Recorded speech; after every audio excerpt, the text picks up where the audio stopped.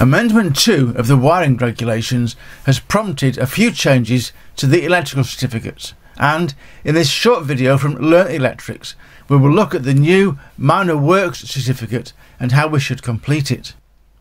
The full title of this certificate is the Minor Electrical Installation Works Certificate, more commonly called the Minor Works Certificate or abbreviated to just MWC. There are some small changes on this new certificate and they relate to AFDDs and SPDs. First of all, what is a minor works certificate used for? They are for additions and alterations to a circuit that already exists, such as adding new sockets to an existing socket circuit, or adding more lighting points to an existing lighting circuit, or relocating light switches, replacing a damaged socket, and so on, but not for a new circuit or a consumer unit change. There are five paths to the certificate, and my recommendation is to complete each of these in turn. Life is so much easier if you look at it as five little parts to complete rather than one whole sheet of information.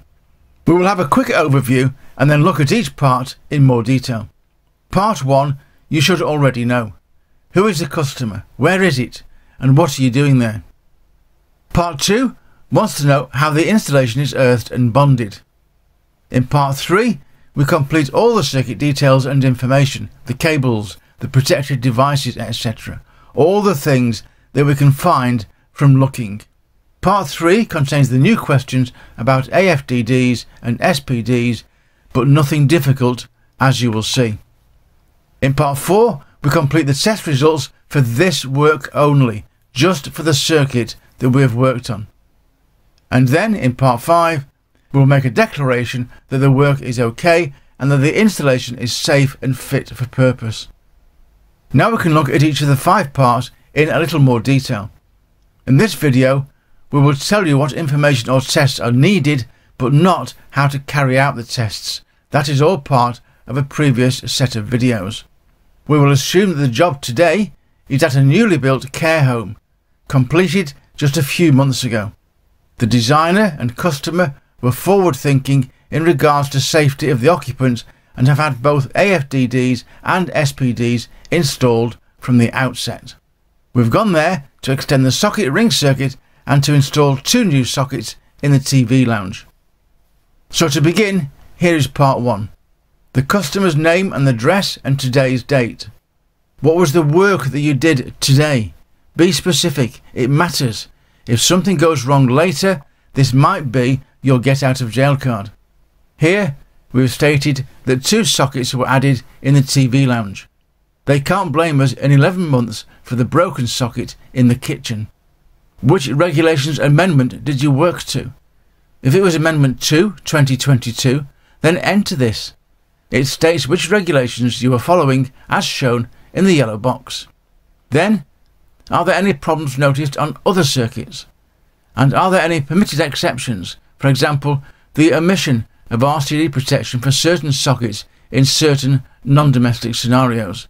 These will always be accompanied with written risk assessments but most times we should be writing none in here.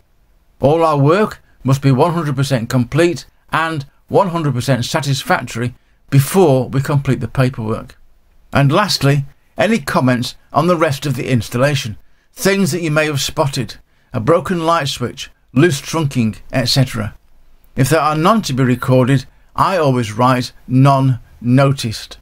This is a statement that during my time on site I did not notice any, but I wasn't particularly looking for other problems. Instead of 2022, some electricians will write in AMD2 for Amendment 2 as per the orange box. Either method is acceptable, they both tell us which amendment is being used. On to part 2, earthing and bonding. This now affects the whole installation. What earthing system is it? Tick. What is the ZE, the earth fault loop impedance at this distribution board, called ZDB here for reasons explained in an earlier video? Is the main earth conductor connected? Is there main bonding? And to what? Part 3 is the circuit details. Everything here can be completed by simple observation. The distribution board number and location, the circuit number, description and reference method. What are the conductor sizes? BSEN numbers of devices, types, ratings, tripping times, etc. And the new AFDD and SPD section which is applicable to us today. Because the protected device is an RCBO and AFDD combined, we need to specify which BSEN numbers are relevant. In this case, for the MCB part and the RCD part, it will be BSEN 61009. And for the AFDD part, it will be BSEN 62606. The SPD is a separate Type 2 device with the number BSEN 61643. Part 4 is the test results. They are only for the circuit that you are working on. You should be able to find R1 plus R2 and the end-to-end values of the conductors for the ring circuit, sometimes called LL, or CPC CPC, and sometimes called little r1, little rn and little r2. What is the insulation resistance test results? What about the RCD? Did you press the test button? Did you check the AFDDs and the SPD? And then the declaration.